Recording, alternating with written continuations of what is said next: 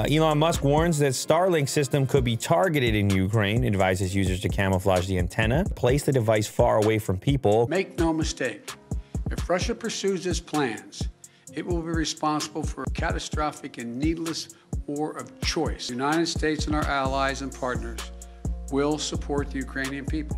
Tech tycoon Elon Musk has indicated he will protect the internet in Ukraine and the world from the International Space Station if it crashes to Earth. Ukraine's Deputy Prime Minister Mykhailo Fedorov acknowledged receipt of what appears to be a shipment of Starlink's terminals in a tweet. Elon Musk replied, You're most welcome. The terminals are ground-based satellite receivers and transmitters that people in Ukraine need in order to access Starlink, Musk's satellite internet system. Musk's president, Joe Biden, spent the first 15 minutes of his recent State of the Union address talking about Russia's invasion of Ukraine, an event that certainly has transfixed the world more than the latest twists and stumbles of his domestic legislative agenda. The United States has already sent Ukraine military, economic, and humanitarian aid. On that particular night, Biden wanted to send a message that America cared about Ukraine's fate and stood by the embattled nation, a thought he certainly shares with Musk. After Russia's invasion, many feared Ukraine's internet access would be cut off, either through cyber attacks or the destruction of internet infrastructure, or both. While there have been some temporary outages and attacks on government websites, for the most part, there hasn't been an internet blackout yet. Even so, after Ukraine's Vice Prime Minister Mykhailo Fedorov tweeted an appeal to Elon Musk, the billionaire sent help. Earlier this month, a truckload of Starlink satellite dishes, also known as dishies, showed up in Ukraine. Elon Musk also turned on Starlink's space internet service in the country, ushering in a round of positive headlines about his world-saving generosity. It's not clear if or when Ukraine will need alternate internet service, but it can't hurt to have the public support of the richest man in the world. Musk isn't the only powerful and influential tech magnate that Fedorov, who is also Ukraine's Minister of Digital Transformation, has appealed to for help during the invasion. Over the last several days, he has tweeted sometimes emotional pleas to Apple and Tim Cook to block App Store access in Russia, to Google and its CEO Sundar Pichai and YouTube and its CEO Susan Wojcicki to deplatform Russian state media, to Cloudflare and its CEO Matthew Prince to block Russia's access to its services, and to Meta and Mark Zuckerberg to block access to Facebook and Instagram in Russia. Fedorov has also tweeted at payment processors and crypto exchanges to cut off Russia and called for cyber specialists to join an IT army. All these major corporations are based in America, and Musk believes that with Biden's words and reaching out to the decision makers, those named companies can join in saving Ukraine from the sore jaws of Russia. It's part of a seemingly effective strategy. Russia is known for using the internet to push its propaganda through coordinated social media campaigns, but Ukraine has come up with its own social media tactics, with its leaders making Ukraine's case through personal, often heartfelt appeals on various channels. As Fedorov said in a tweet recently, win the hearts of the world while cutting Russians off from technology that's become essential to many aspects of their daily lives. In the wake of all this, Biden's message to Vladimir Putin was simple. The Russian president had badly miscalculated. The economic pain that the US and Europe had imposed on Russia for its invasion was just beginning. The ruble was crashing, the Russian stock market was in free fall, Russian oligarchs would have their ill-begotten gains confiscated, and Russia was losing access to key technologies. There was another message to Russia beyond one of economic pain. Biden also emphasized that the US and its allies would fight to defend every inch of the territory of NATO countries. President Putin has put his nuclear forces on elevated alert and warned of devastating consequences if any nation intervened in Ukraine. Biden's message was to spell out, lest there be any doubt, when and where America itself would fight. It's not clear whether Biden convinced top American companies to snub Russia, but it seems Ukraine's request was heeded.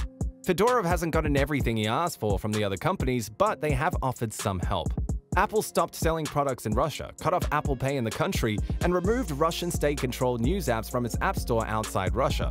YouTube is deplatforming Russian state-controlled media in Europe, while Google and YouTube have stopped monetizing ads on Russian state-controlled websites and channels. Meta is restricting access to Russian state-controlled media on Facebook and Instagram in the European Union and demoting posts with links to Russian state-owned media globally. With Musk, however, Fedorov got exactly what he asked for from a CEO who loves attention and has a habit of jumping into well-publicized problems with his own novel Musk Company-branded technological solutions. Musk has demonstrated a willingness to get involved in the Russian-Ukraine conflict in other ways too. He tweeted SpaceX's logo at a Russian official who threatened that the International Space Station would fall out of the sky if Russia were cut off from it.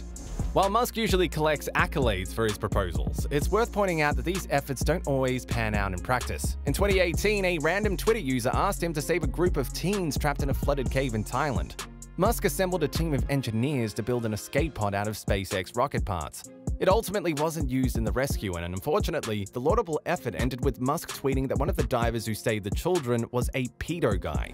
Then, in March 2020, as the coronavirus pandemic hit the United States and hospitals ran low on ventilators, Musk tweeted that Tesla would make ventilators in its Buffalo, New York plant. It did not do this. Tesla built a ventilator prototype out of Tesla parts, which was never put into production, but the whole affair made for a nice publicity video. Musk's promise to donate hundreds of ventilators to hospitals ended up being Tesla branded BPAP and CPAP machines, which are commonly used to treat sleep apnea. Tesla didn't actually make the machines, but someone did slap Tesla stickers on the boxes. Well, at least some of these machines were helpful, they're not ventilators. Musk's efforts have been more successful on other occasions. He tweeted in 2018 that he would fix Flint homes that had lead-contaminated water. Although that doesn't appear to have happened, the Elon Musk Foundation did donate lead-filtering water fountains to several Flint schools recently. Musk also tweeted earlier this year that he wanted to send Starlink terminals to Tonga after a volcanic eruption severed the cables that provide the island's internet. Starlink did, in fact, provide the island with 50 dishes and free service until its access is restored. The gift helped the people of Tonga and showed Starlink at its best, in remote locations that don't have access to wired services or cellular networks. As for Starlink in Ukraine, it does appear to be up and running, as Musk promised. A man named Oleg Kutkov, who lives in Kiev, tweeted that his dishy was working. Kutkov said that he didn't get the dish through Musk's donation. He happened to buy it months ago through eBay. He couldn't connect it to the internet then, nor did he expect to be able to do so. Kutkov is an engineer and said he got the dish to see how it worked not actually make it work. Then Russia invaded his country. Musk's SpaceX has thousands of Starlink satellites in orbit, which allow the company to beam broadband services around Earth without the need for fiber optic cables. The satellites could keep Ukraine online if Russia's attacks damage its internet infrastructure. Meanwhile, the US and its European allies have been in remarkable lockstep as they imposed sanctions on Russia and offered military aid to Ukraine. Time and time again, during his speech, Biden celebrated this fact. He thought the West and NATO wouldn't respond, the American president said. Putin was wrong. We were ready. The likes of Musk, Biden, Zuckerberg, and even Pichai will definitely help Ukraine win this war, though the better option still remains amicable peace talks. Whatever the case, Musk has yet proven to the entire world that he is the modern day Tony Stark. Talking of that, do you know that Musk is planning on opening a college? Click this link to find out more about that. We will be bringing you more of Musk's collaboration with Ukraine in our upcoming videos, so subscribe to ensure you don't miss out on any of those.